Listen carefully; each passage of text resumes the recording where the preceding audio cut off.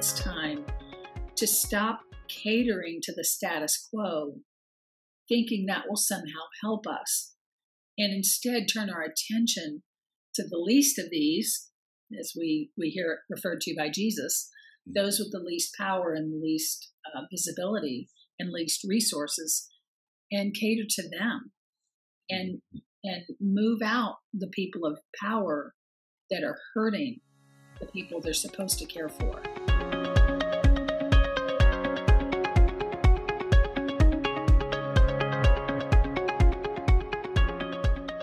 Hello, my name is Clay Boykin, and I am in search of the new compassionate male. I believe in the midst of these incredible times of change, a new compassionate male is emerging as the new archetype and this podcast is intended to give voice to both men and women on the overarching topic of compassion consciousness in men. Hello, world. It's me, Dennis, and today, in In Search of the New Compassionate Male, I get to produce this episode along with the founder, Clay Boykin. Hello, Clay. Would you introduce our guest, Susan, please? Hi, Dennis. Absolutely. Susan Cottrell is with us today. I met Susan in March of 2019 here in Austin, Texas, hmm. at, at the News Story Festival. We actually had booths right next to each other. Susan's got a powerful story, a heartbreaking story, and an inspiring story. And I'd love to pick up wherever Susan would like in that. And gee, we've got so much to talk about.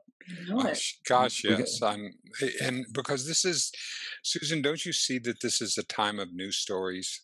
Yes. That we're all telling new stories and re re-seeing our stories just in the past 20 years when we've seen new stories being told and, and new ways of relating. It's, it's, it's extraordinary. It is extraordinary. And I look at the past year of a pandemic shutdown. I can't imagine anything else that would have shut down the world like it did. And it's time to hear the stories that have been incubating and that people haven't had a chance to tell and yes. listen to the stories that have been being told but haven't people haven't been listening to you know? so yeah i think it's a, a a time of change we've been in an embryo now for all this time and i hope we come out listening to the stories that are being told and not just go back to status quo. That would be the, the worst outcome I could see. Amen. So, what's changed for you? What's changing in your story and in the advocacy that you've been doing in, in your life, Susan? Well, um, so in FreedHearts, I have been doing, I had been doing a lot of writing, a lot of traveling, a lot of producing of content. And this last um, time, this last year, I think have been has been sharp focusing, producing the content that we need to get out there to continue to bring in the stories of people. Um, a man in Germany who just wrote me about his situation with the priest there, pastor they call him, but it's a, the German Catholic Church, mm-hmm. and the whole response to the Vatican and how he's saying you have got to listen to our stories. Like the the pope was saying or the this pastor was saying you know well we've got to be uh, understanding of the church's position and and the bind they're in with the vatican. Like no you have to hmm. understand our position and our families that you've destroyed and our lives that you have crushed. And so all of that to say i think it's time to stop catering to the status quo, thinking that will somehow help us, and instead turn our attention to the least of these, as we, we hear it referred to by Jesus, mm. those with the least power and the least uh, visibility and least resources, and cater to them and and move out the people of power that are hurting the people they're supposed to care for. Mm, I love that. I, have got a question. You said you mentioned FreedHearts. Yes. Now that's a blog, and it's a whole um, Kit and Caboodle. It's a whole nonprofit that we have. Okay. And there's several elements. There's a blog. There's um, print content in the form of books, and there's video content with the online courses that we offer. And we have um, lots of YouTube videos as well. And then we have live. I travel and speak um, till this past year, and I will resume again. And we have our podcast that just came out. We just started, I don't know, several months ago, really. Really? And is it called FreedHearts Podcast? FreedHearts Podcast, yes. Wonderful, wonderful. And your YouTube videos get a couple of hits, I understand. Yes. Like millions of viewers on it, literally. Yes. Yes, and my TED Talk too. It's, and your TED Talk. That's right. That's right. I was seeing that. What is the general topic, the essence? Uh, can you tell us about that? What yeah. what started FreedHearts and? Yeah. So our we were in the evangelical church, the cons- conservative, non-affirming church. We didn't realize they were non-affirming because there was no reason to yet.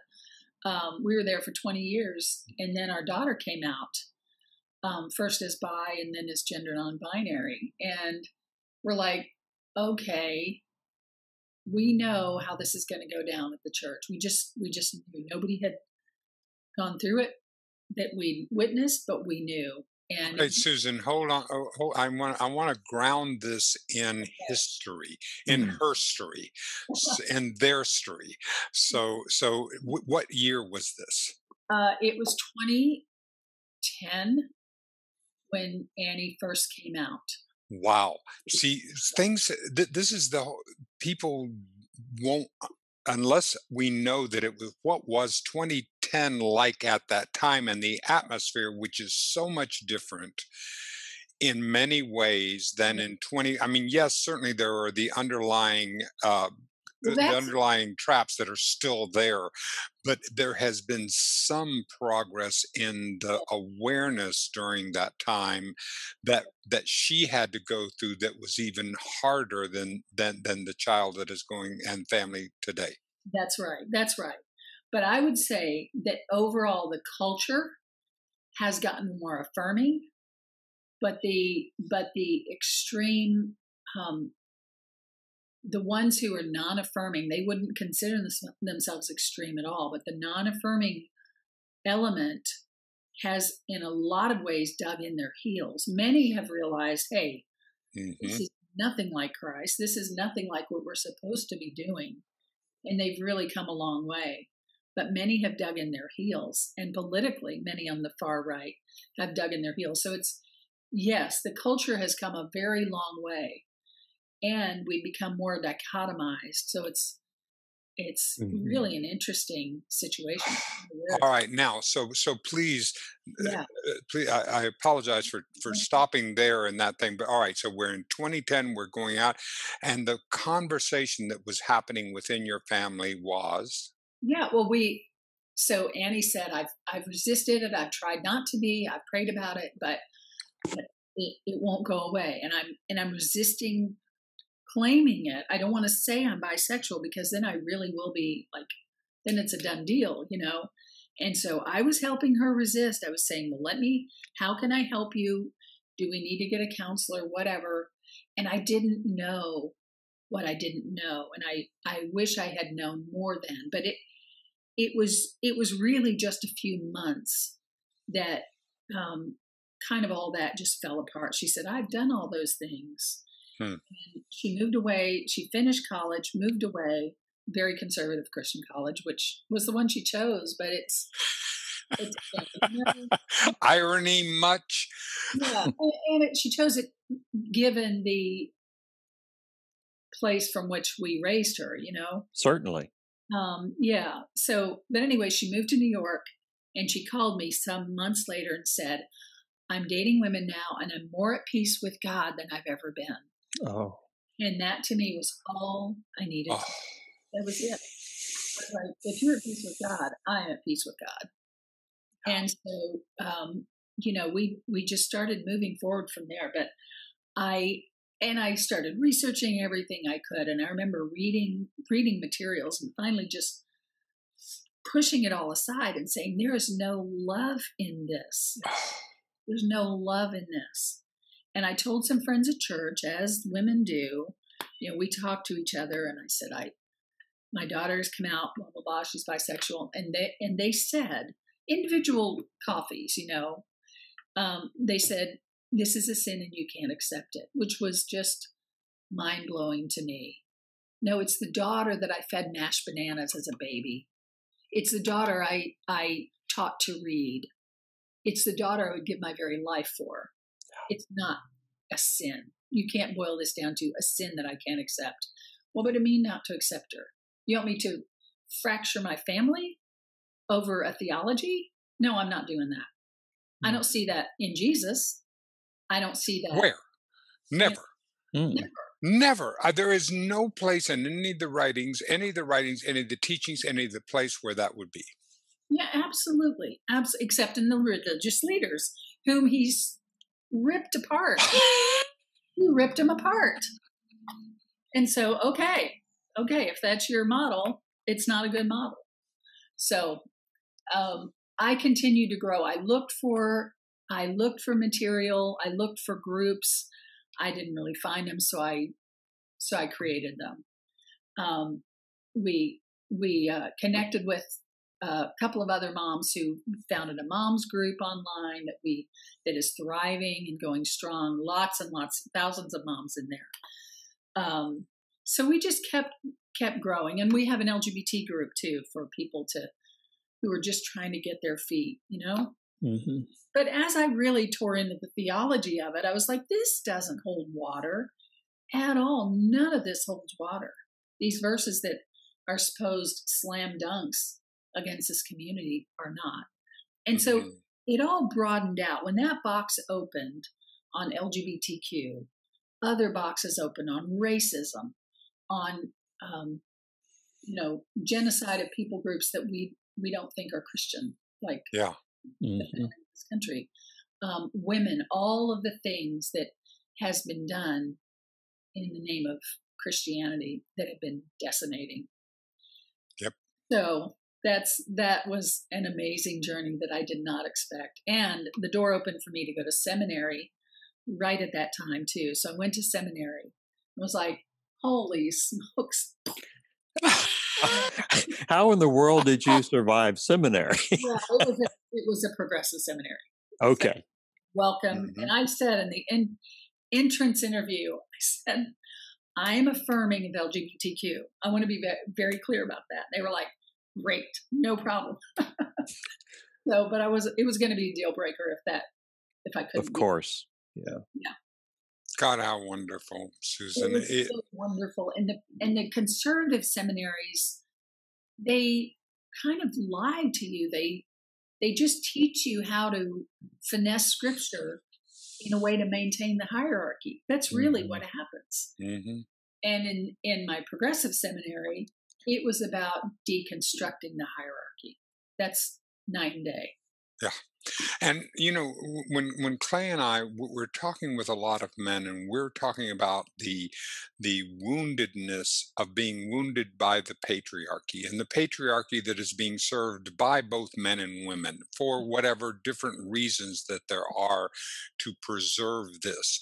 So we're we're looking for men and working for with with, with men who are I say we're working with Clay. Clay is working with men. I I get to be with Clay, uh, in in this process of finding the compassion uh, within ourselves, being able to communicate with head and heart, so that the people. You said that the moms, the moms at the churches were were, were getting getting the men. Were you what were you finding the echoes within the male community or the men that identified as uh, the people that identified as men in the in the Christian communities?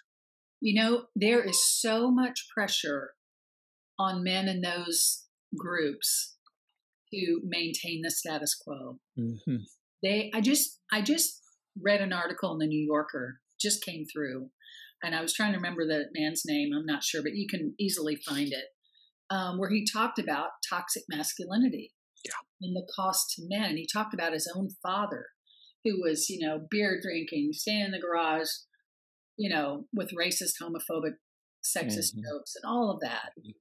Conversation talking about, oh, I'd rape her if I could, you know, and just Mm. horrible, horrible things. And that was the community that he grew up in. And you, you know, he he was estranged from his father. He got away as far as he could for as long as he could. But finally, years later, connected with him, and his father said, "You know, I the pressure to be a, that kind of man is just it's overwhelming. I didn't really have a choice. I didn't think." And his son was appalled by that. He had no idea that his father was going along with that um, patriarchy. But it's so oppressive from the beginning. You know, if a girl falls, trips, we say, "Oh, come here, honey," and a boy trips, we're like, "Shake it off." And you know, it starts from the very beginning. Yeah. Yeah. You know, uh, what I've been learning over this past several years, and of course, this year with the podcast, which is a year old now, Okay. my my sense is that these generation right now, the the young men that are growing up, the people of our age even, are doing our best to stop that cycle. You know, I can look back at my father, and in so many ways through life, whether I was before I was conscious of it, Yeah. I'm not going to be that way. And I hear this this drumbeat of here and no further. Jerry, a couple of days ago, Jerry Teo was talking about that within the Hispanic community that he grew up in. And uh, Machismo that was part of the process. Yeah. yeah, Mm. and the desire to break the cycle. So the consciousness of breaking the cycle uh, sure seems to be out there. Yeah. It's not overnight, but No. I Is hope it so. Do you think do you think susan you know in in now let, we're going to talk i'm going to talk broad generalities here but do you think when we cut when, when we dig down to this place where the knot is so tight where it's so hard is it going to take that generation to die off Hmm. or is there is there a way i mean we're trying to look at this geologically you know and also uh, humanity how long we've been around because this is a tight knot this is a holding on for dear life to the last vestiges of white supremacy of white male patriarch of what we're this is a th- th- this is holding on for all it's worth Yes, yes, it is. I mean, that's a million dollar question, I guess. I mean, back in the back in the '60s, remember the age of Aquarius and all. Mhm. 73 i'm the elder in, on this on this on this podcast so so baby i remember you know, and they were really. It, it's the dawning of the age of Aquarius. We have a whole new world opening up, and I believe that's been happening. That was 50 years ago. Yeah, I know. Um, and so I think we've been in the throes of these birth pangs, as as you call Mhm. them, um, yes for some time now.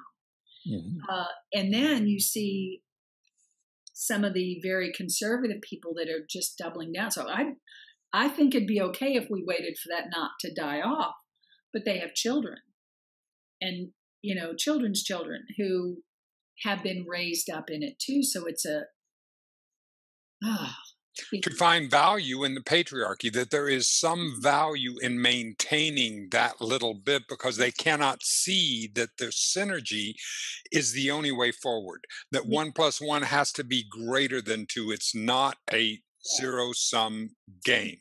And not just benefit from the patriarchy, which there certainly is, but mm. exorbitant cost not to comply. If you just mm. don't have a favorite sports team, you get beaten up and shoved in your locker. I mean, you know, it's it's so it's it they get you in that patriarchy. I'm talking to two men here and Mhm. all others. thank you thank you you know, they get you in there one way or the other, and by enticing you or bullying you or both.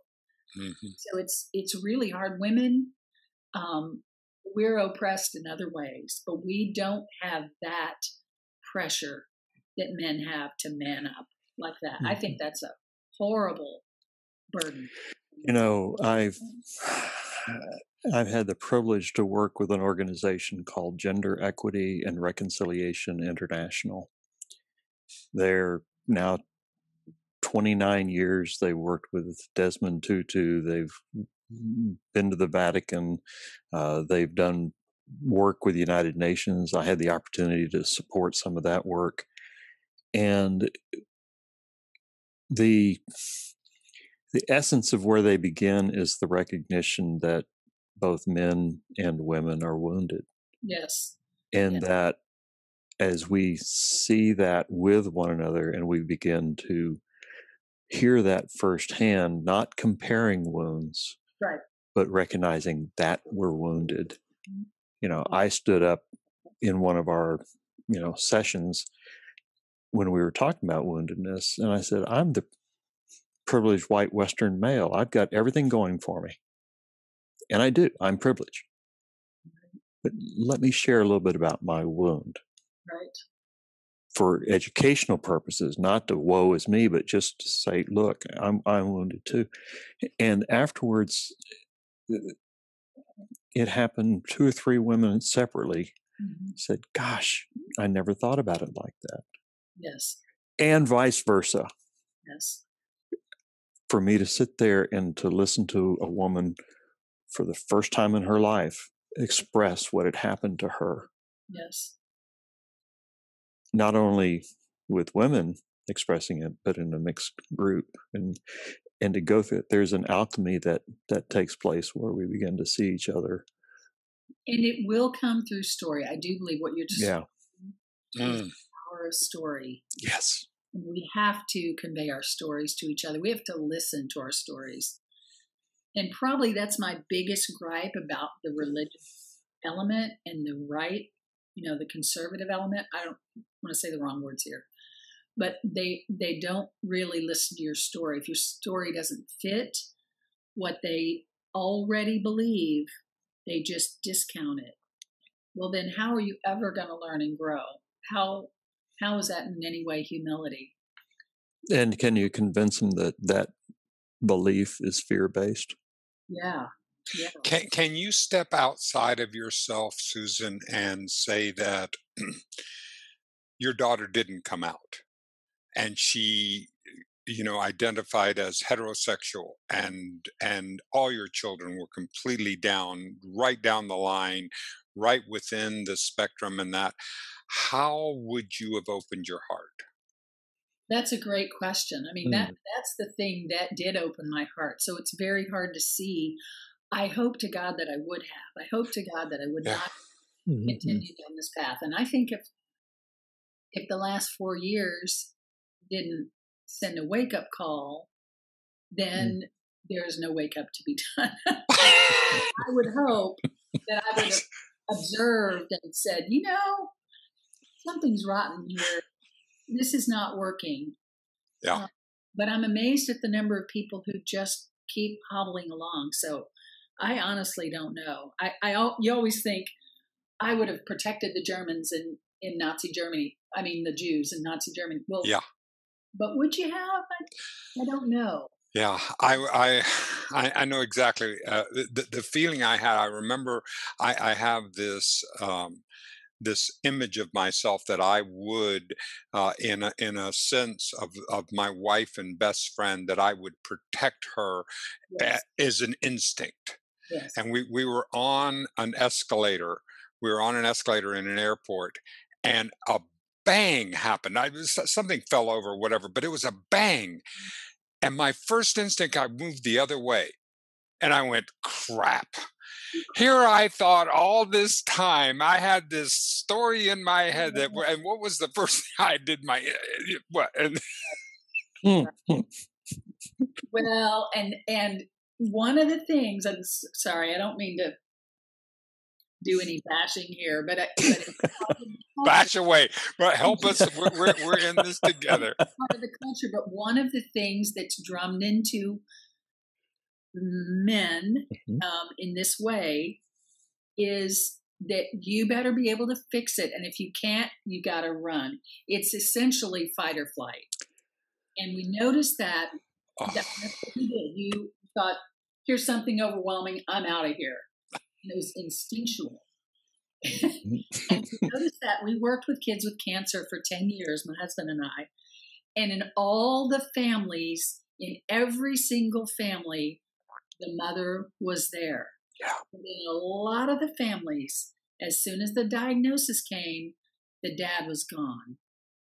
Now, it didn't help the family for him to leave at all, but he couldn't take it. He would fight. I can't fight this cancer. I can't change it. Okay, I'm out of here. And it's flight. And so they're steeped in fear. That was my con- um, Mhm. Conclusion on all of This that. is our learnings, Clay. You Yeah. you get that. Absolutely, absolutely. The And women are not. Mhm. Women are women are trained in a dance. They have to dance with the men in their lives to get anything done. They have to dance with with all the rules they didn't set up. And black people the same way. hmm Other people of color. You have to dance with the rules that you you never made up, never agreed to. You were born into them. what is it? Uh, Fred Astaire and Ginger Rogers. Yeah. Uh, what great dancers they were, except she did it backwards and in high heels. Yes. Yeah. But Clay, you know, this is what in in, in our work, Susan, and and and the, the work that Clay's doing, and the work that Clay is teaching me, being beside him as we're working together, is that when we work on compassion as an active principle in our lives, we can begin to heal that and begin to be part of not to, so that when that happens, because that's that that fight or flight that that place is that, that there is a, a wound or a blockage how would you phrase it clay uh, that that that prevents us from being able to get but the, but compassion has a has a, a softening effect Well, let me try this. please What I'm learning along the way in my work with the organization, Karen Armstrong's organization, Charter for Compassion. You mentioned that. That's good. Yeah, yeah. And what I've learned through their uh, compassion integrity training that they provide is that compassion is part of our DNA. It's innate Mhm. and it's got to be nurtured. Yes. And what I'm Oh, choose, yeah, it's got to be nurtured. Yeah. And what I'm choosing to believe is that all this pressure that's happening right now, the the the last four years, the pandemic, everything, that that spark of compassion within men, it, there's a burning there Yes.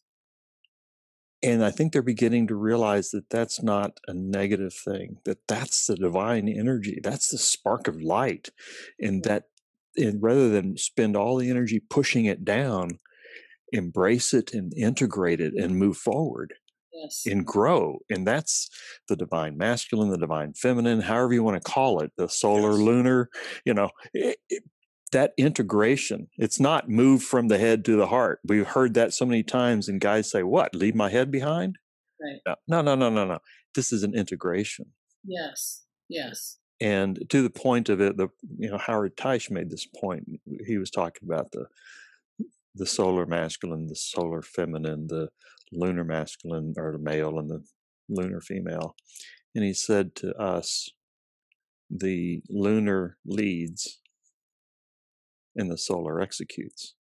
Mhm. and so to your point the execute we're we're you know us guys generality we're Yeah. cut off at the neck you know we're working in our head so it's it's you know lead you know fix it fix it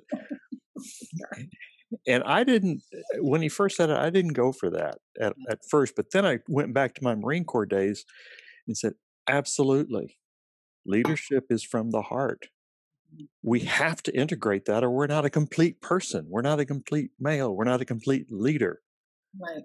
That's without the integration of head and heart yeah right. It's been said so many times throughout history, isn't it? Hasn't it? But we mm-hmm.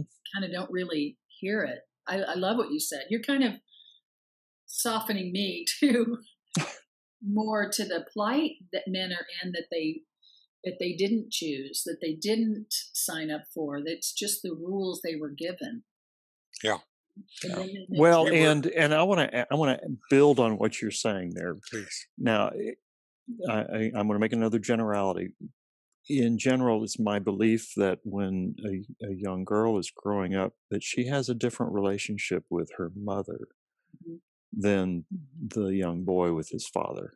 Mhm. That there is a dialogue that happens between mother and daughter where she's learning to speak from head and heart.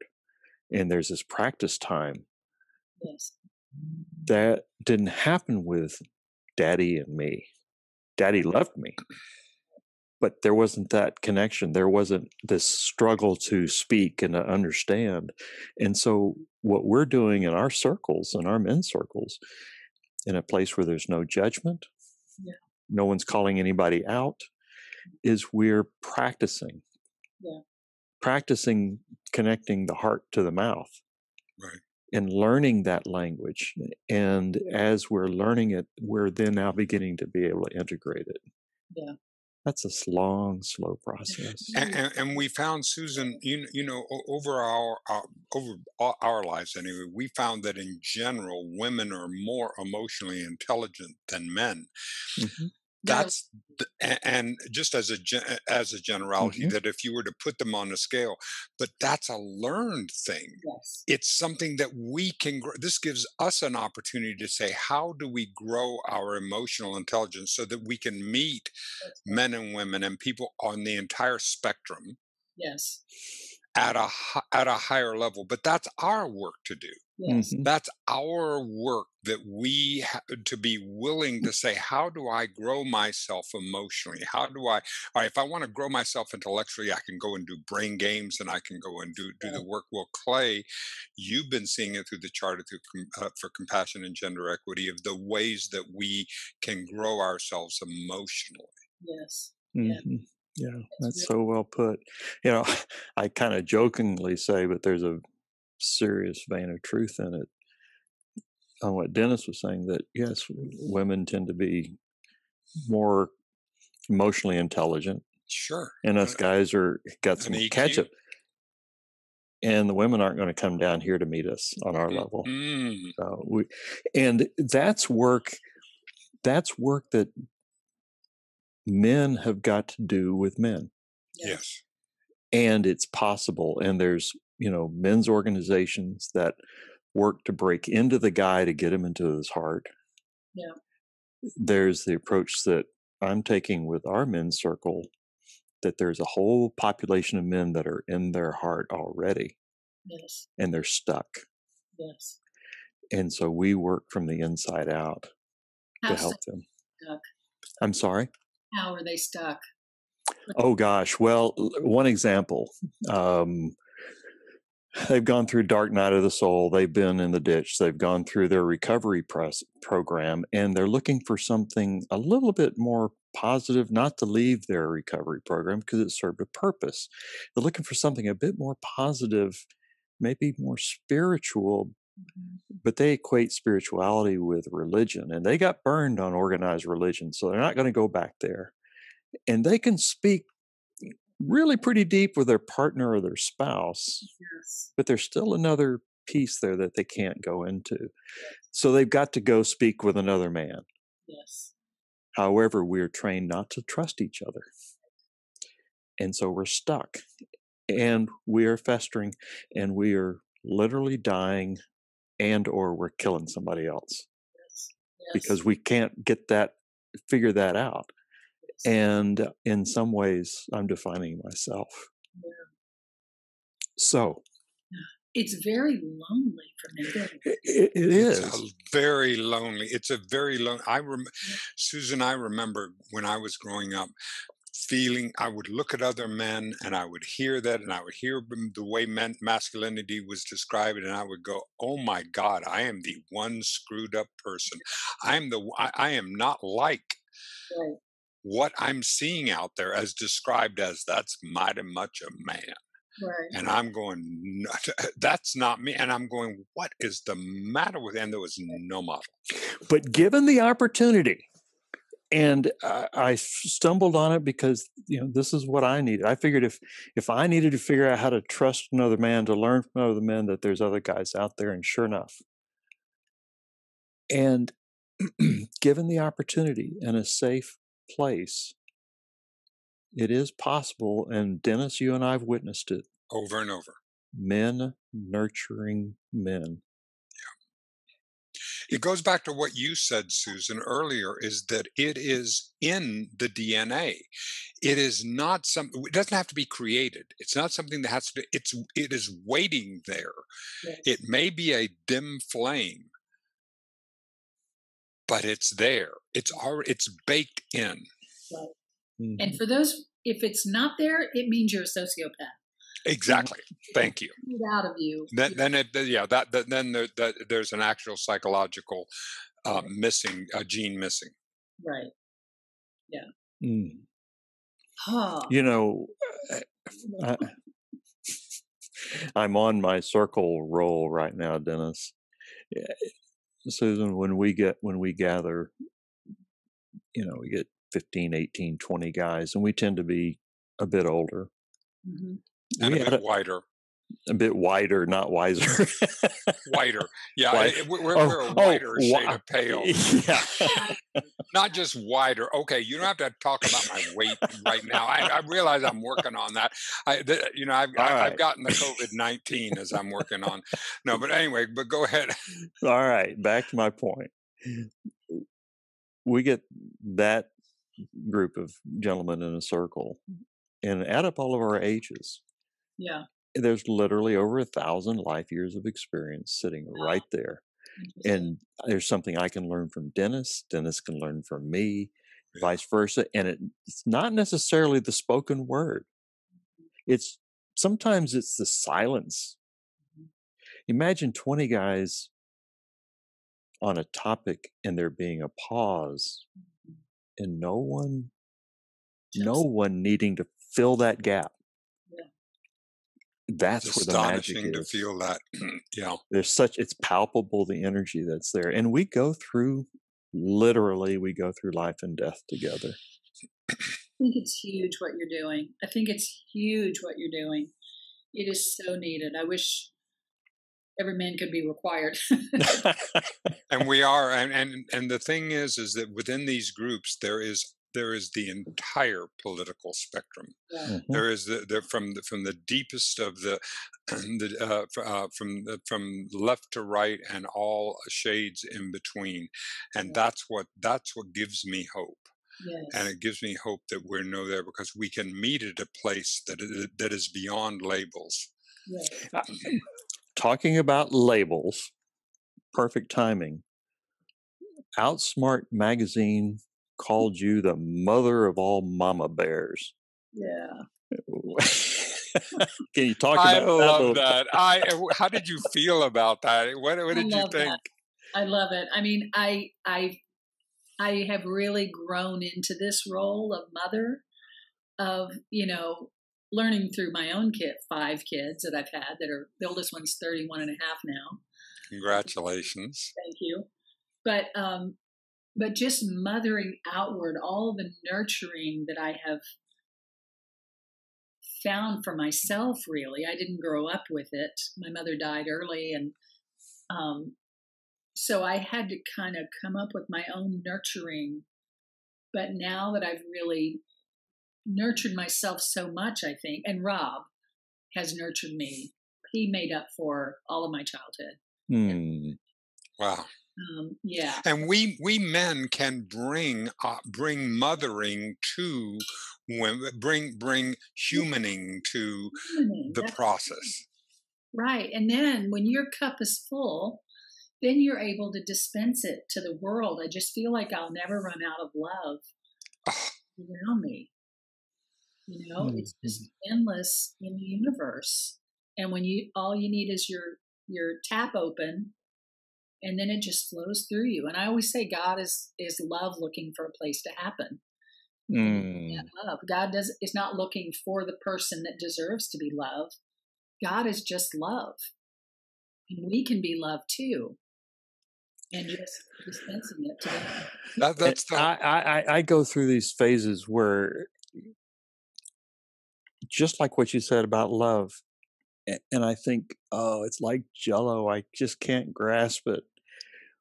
But that's the magic of, for me, in the learning about compassion. Yeah. Mhm. I say it's love in action. Okay, now now it's tangible for my male brain. Yeah, Okay, and it is your actions. it, it is. it- yeah, and your attitude. And, and Karen Armstrong is the one who, in her Mhm. TED talk, whom I, I adore, yes, um, she just said um, that that faith originally was defined as your actions, not your belief system. Well, okay, I can love somebody in action. I can give my friend money to go to this thing she wants to do, but she doesn't have the money or whatever.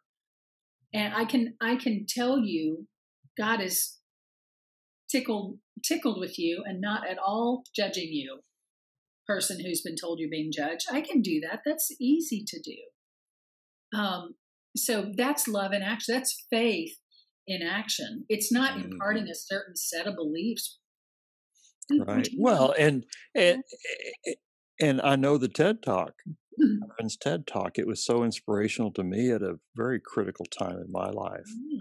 That was 2008, and then she won the TED Prize for it. Hmm. And what struck me was her comment about uh, the Golden Rule. yeah, All the major religious traditions, yeah, you know, and when you were talking about the evangelical experience and so forth, I kept thinking to myself, well, what about the Golden Rule? What about that? That's really the plumb line. And instead, it's just become like something we just toss aside. Mm-mm. no. That's that's patriarchy. Yeah. That's systems, a broken systems approach. Yeah. Uh, Susan, how do you how do you come back because you have to deal with a lot of you you you you you get a lot of work and support within the community but Right. then you also have to deal with especially when you're on the vanguard when you're out in, Yeah. out on the edge there how how do you recharge and regain your your center your your peace of mind Mhm. when you've taken it taken some hits you've got at the back and you know it's at the end of the exhausting day you've had 17 speaking engagements you've done It's it's love from my family. I really get charged up with love from my family, just hanging out with them. Um, with alone time, I meditate. I do um, qigong. oh i love that the movement the beautiful movement? And it feels so free. I feel so good in my body when I do that. And I do art. I, have really taken up art in a big way in the past, I don't know, five years or so. And I love it. So Mm. just things that really are for me. Yeah. And you really have to get over the guilt of taking time for yourself. I, where, why in the world have that so deeply in our culture? But, you know, it, it's, but it's necessary. If I don't keep myself going, I'm, I'm no good to anybody else. You know, and the, and the comments, I also know that the comments are only a projection Mhm. they're only that person expressing themselves. They're not me. They're they didn't find a beat in on me. They're just projecting themselves. Oh, so true. You know, eh, I would pop to mind was the old Stephen Covey. You know, sharpen your saw. Oh, You know, what was it? Uh, uh, somebody famous once said, you know, if I have, you know, four hours to chop down a tree, I'll spend the first three sharpening my saw. yeah, yeah, yeah. That's great. Mm. I, you know, I've I've never had, I've never in in my life, Susan, I've never had a judgment that I've had about another person, and I'm talking about a judgment where I'm saying something about their character that it is not my character objectified. It is not something within me that I am holding against myself, and the and the more the stronger my judgment is, the more it's my issue. Yeah. It's extraordinary when when I see. So it never surprises me when I see some preacher who is preaching against so strongly against a mm-hmm. particular behavior, a particular thing, finding that exact behavior coming in, and I go, there I am.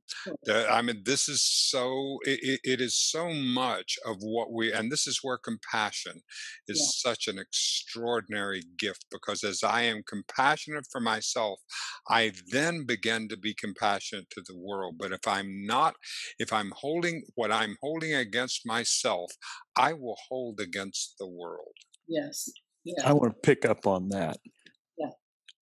And I may be projecting here, but I have a hunch that in your books, one of them, Mom, I'm Gay, Loving Your LBG, L, LGBTQ Child and Strengthening Your Faith.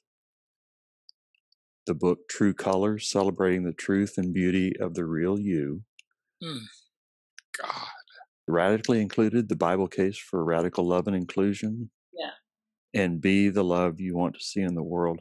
I bet you what you were just saying, Dennis, is woven through each one of those books in some way. Can you talk about your writing?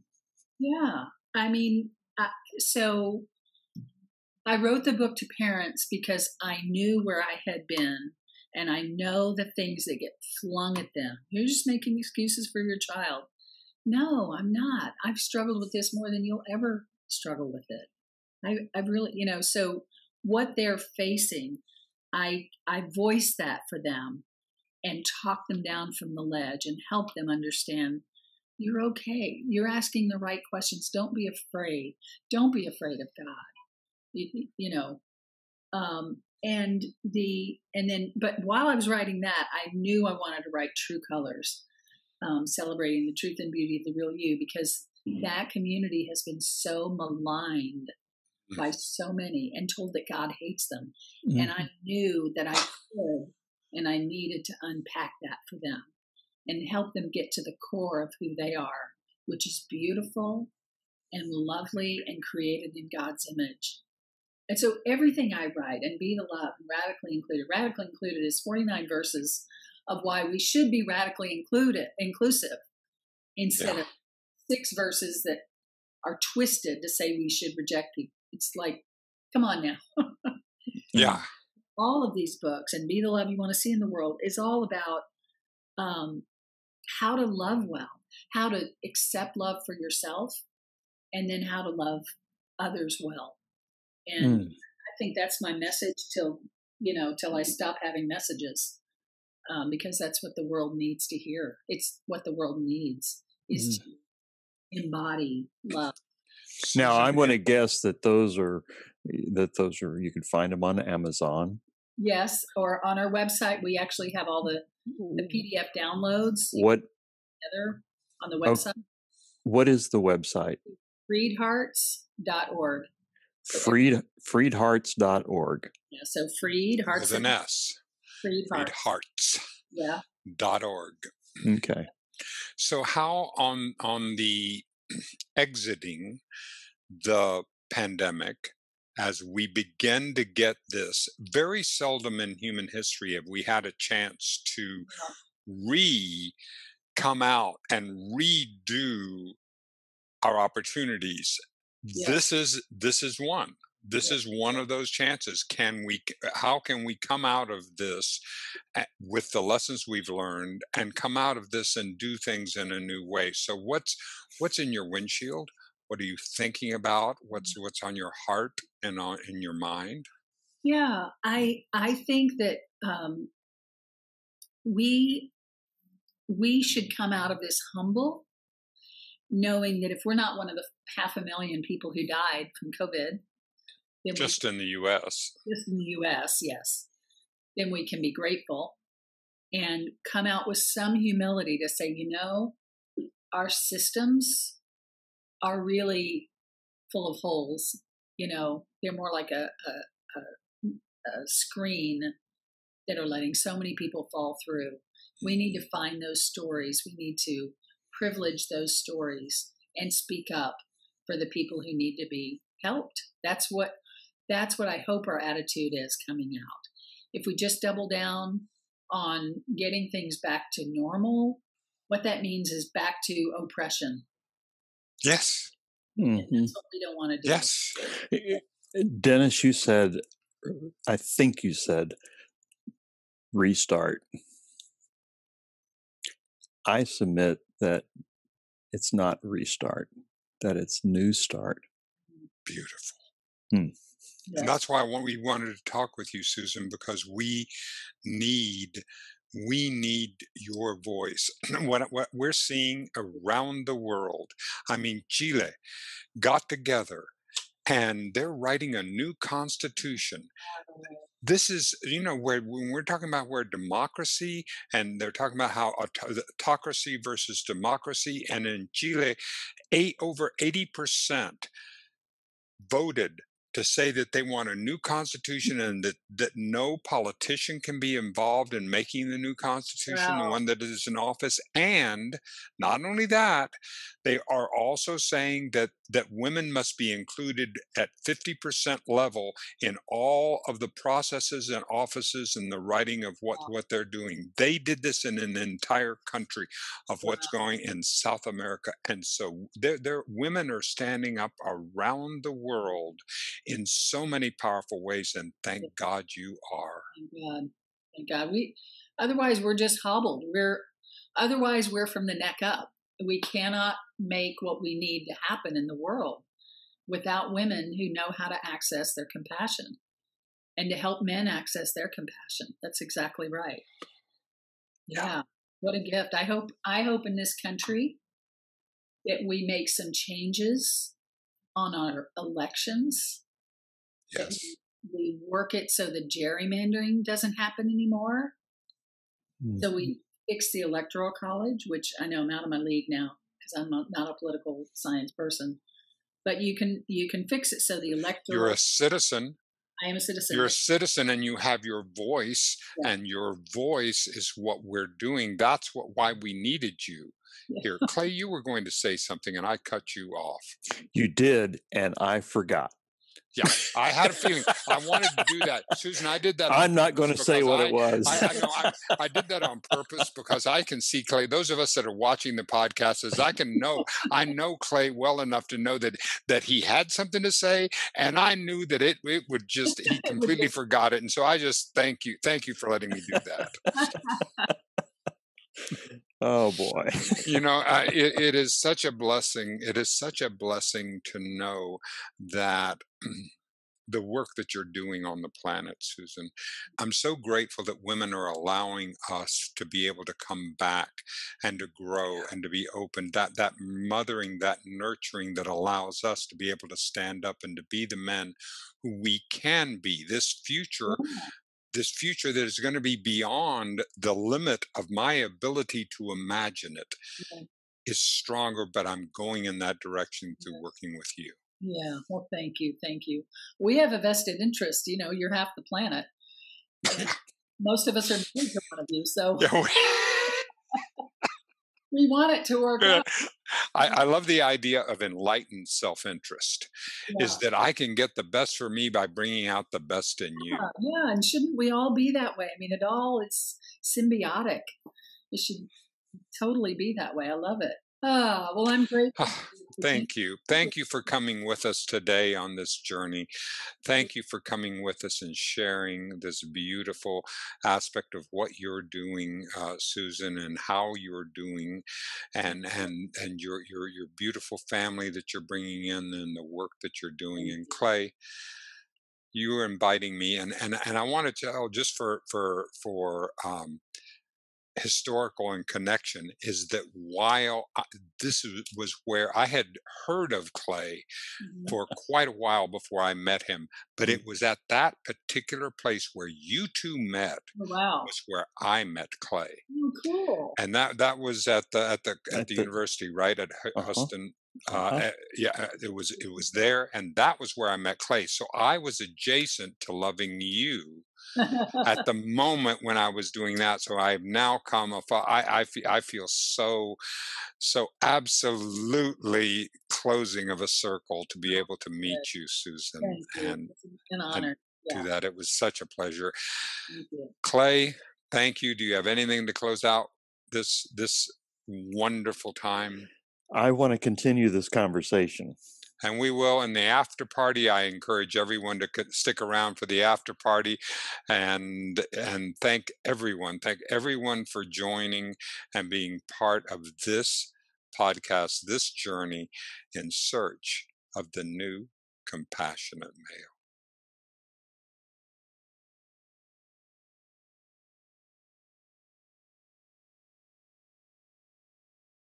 I will expect my email. I have something I want to talk with you about just to be able to say hello. What where are you in the world at the moment? Uh, Seattle. I saw this beautiful, beautiful Uh-huh. electric trolley that uh, that that that went by, and can we see uh, Mount Rainier out? Your probably not today, but That it's that way. So yeah, it's way. that, it's that. But anyway, but thank you, thank you so much. thank you. Bye. Bye. That's awesome. So, do you live in Washington? Yes, we live in Seattle. We in moved there uh, actually just after the New Story Fest festival. Okay. Yeah, because our kids moved here, and so we're going to be near them. So, Yeah, anyway. men, men teaching men that is so vital. I was I was thinking when you were talking about that that you're right. Men can get very close to their wives often. They'll share with their wives, but that's it.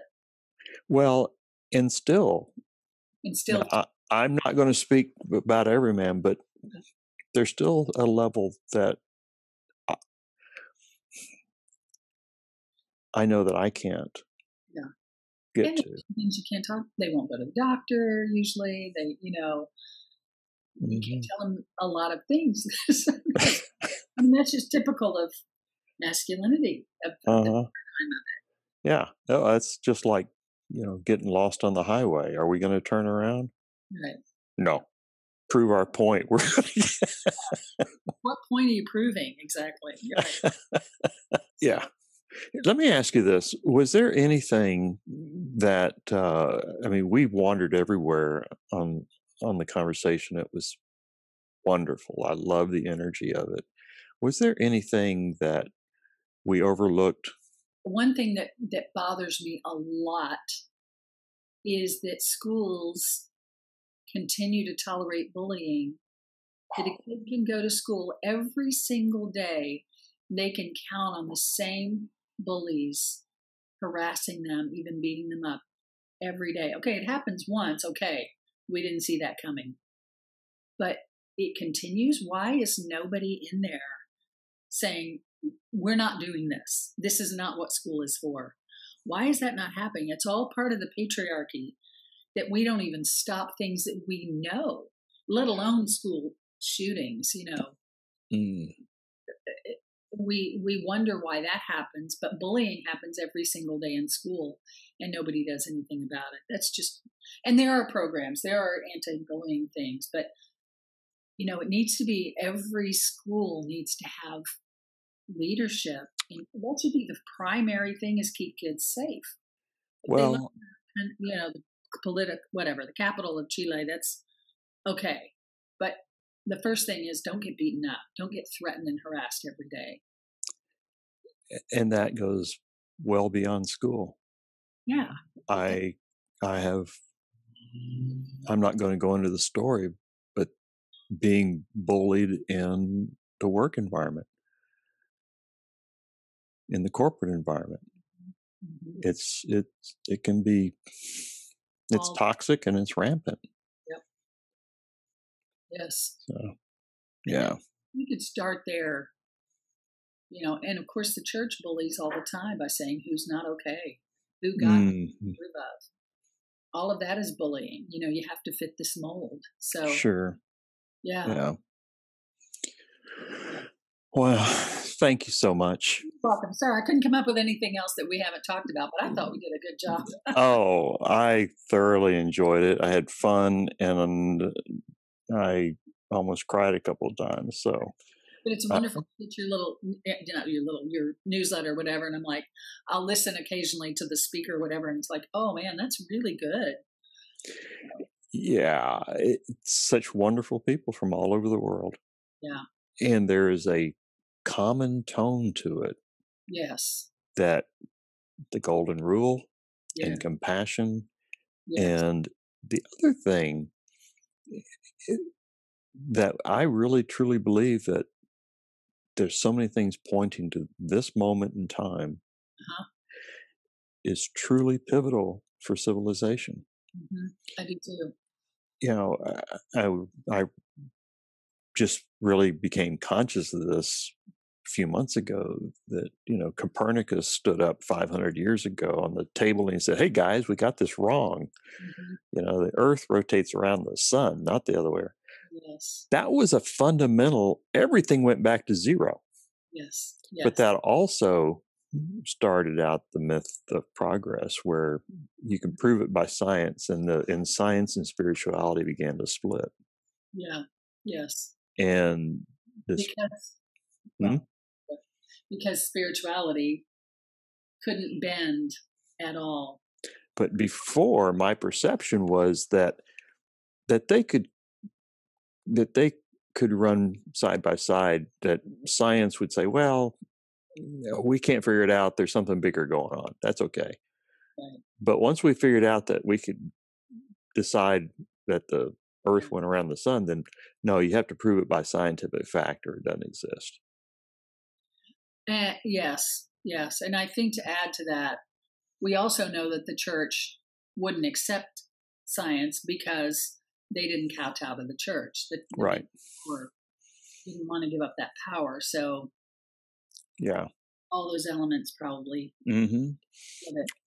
Well, and I've just this last year begun to scratch just the surface of astrology. I, have gotten to know uh, Richard Tarnas, mm-hmm. who's one of the foremost astrologers in the in the U.S. His book Passion, the passions of the western mind mm. is required reading in over 100 universities wow and he's been on the show and in his books that book passions of the western mind and the other one cosmos and psyche you know they talk about the planetary alignment and what has just been occurring and occurred you know this last year points to fundamental change. It mm. points to really a new start happening. And I equate it to Copernicus' story. Yeah. It's I believe it's that big. It's happening now. It's not something that's going to happen. We right now today are in the midst of it. And it's, it's all all that. It really does. Say, that again. It gives me so much hope to hear. Oh yeah. Yeah. It's funny you mentioned that because I was before you said Copernicus, I was thinking that I had just read The Dancing Wu Li Masters hmm. by Zukav. By who? Gary Zukav. He wrote the oh, yeah. yeah. And, and I read it back in college and I thought, oh, I'm going to read that again now. And it talks about how we've discovered with quarks and quantum physics that we don't know that that what how we observe something determines what it is. Right. It just is in it's crazy, mind boggling. And mm-hmm. it, all these things are as powerful as Copernicus and Newton and their life changing things that they said. Right. But I'm going to find that Richard Tarnas. I'm going to find those books. Oh gosh, they're right. They're they're right there. I have been in in Cosmos and Psyche. I have been on the first fifty pages for the past three months. One of those, okay.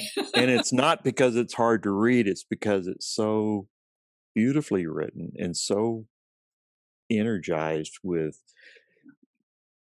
Eh, I just savor going back and reading it and absorbing and going, this really, yeah, yeah, and uh, he, matter of fact, he's going to be back on the show in May. Oh, wonderful. Yeah, yeah. So I can listen to the other one too. Yeah. Of him. Yeah. Great. thank you, Susan. It's going to be probably next week when I get this Sure. um,